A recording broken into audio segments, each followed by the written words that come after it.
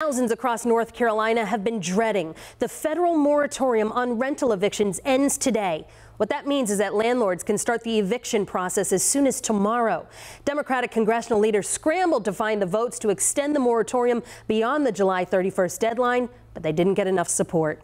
WCNC Charlotte's Lexi Wilson joins us now from Uptown with what's to come. The moratorium has been in place since September 2020 and it's been extended several times. But come tomorrow, people will have to pay back their rent and some renters just won't be able to. Many fear a wave of evictions is on the horizon. Time has run out. The eviction moratorium ending July 31st. The good news is the moratorium's been in place for a while. The bad news is because it's been in place for a while, if people haven't been paying, their balances are huge and there's no way to catch up. According to the U.S. Census Bureau, around 250,000 North Carolinians are behind on their rent, about 28,000 families behind on paying in Mecklenburg County.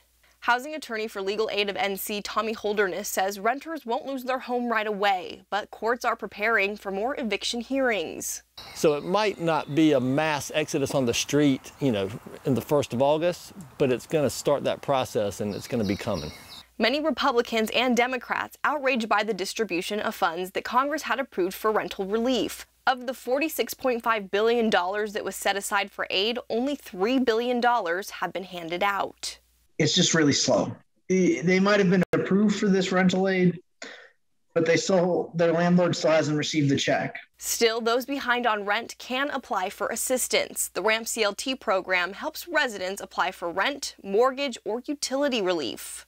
And we're going to be helping those most in need and who have a serious eviction crisis first. The first priority will go to people who have an eviction notice and a court date within 90 days, followed by those with the lowest incomes. Applications for the RAMP CLT program will reopen tomorrow. You can find information on how to apply on our WCNC mobile app and on WCNC.com. Reporting in Uptown for WCNC Charlotte, I'm Lexi Wilson.